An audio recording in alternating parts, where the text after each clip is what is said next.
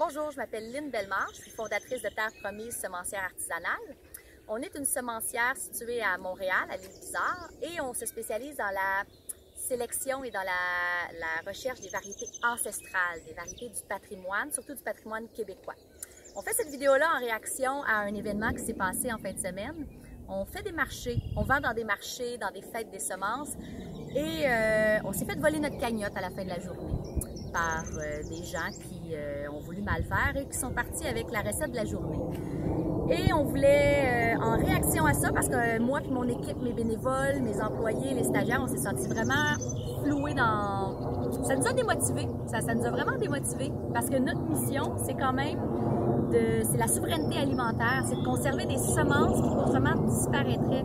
On a ici des semences qui existent que chez nous, comme plusieurs d'ailleurs semencières au Québec qui ont leurs propres semences, leur collection. Puis si une semencière ferme, c'est un livre qui se ferme, c'est une bibliothèque qui brûle. Et on aimerait dire à tout le monde que euh, c'est quelque chose quand même qui nous a vraiment, vraiment touchés de se faire voler pour si peu quand même, parce que c'est des heures et des heures de travail.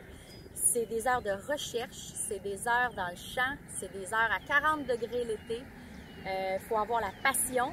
c'est moi ce que je vois dans le champ, c'est des employés passionnés, c'est des bénévoles qui ont à cœur euh, une, mission, une souveraineté alimentaire.